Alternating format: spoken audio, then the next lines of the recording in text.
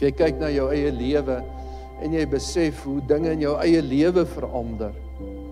Ten spyte van dit wat jy beplan het en gedink het jy gaan doen, gebeur daar goed, goed verander in jou lewe. En na die tyd besef jy maar dis nie eintlik wat jy beplan het nie. Was net deel van jou bestuursplan. Goed verander.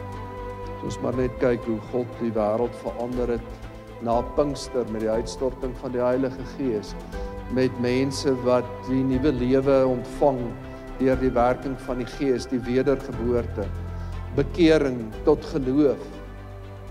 Jesus het 12 disippels gehad en vandag is daar so 2 biljoen Christene in die wêreld. So die vraag is, kan God verander? Kan hy nuut maak? Hy kan. En hy sal dit ook weer doen.